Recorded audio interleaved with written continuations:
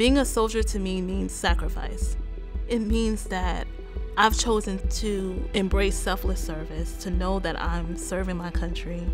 I have a purpose that's beyond myself. My name is Captain Whennah Andrews, a 70 Hotel Medical Operations Officer with the DC National Guard, currently assigned as an active guardsman at the National Guard Bureau. My parents immigrated from Liberia, West Africa, a couple years before I was born. For those who may not be aware of the history, the country has been devastated from civil war that happened in the late 1990s.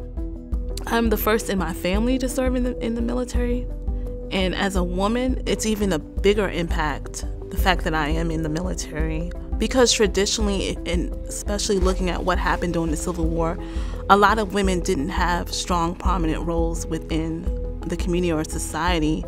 And in 2005, Liberia actually did something even more groundbreaking. It elected its first female president, President Ellen Johnson Sirleaf and she was the first woman to be elected to any country on the continent.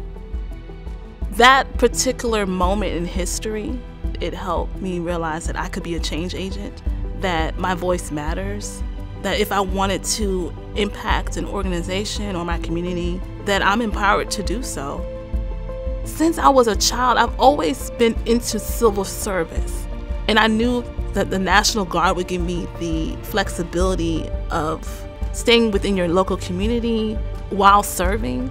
And I knew I wanted that aspect when I was looking at becoming a soldier in the military. I would say being in the National Guard, it sets you apart from your peers. It gives you a leg up when you're trying to navigate your career.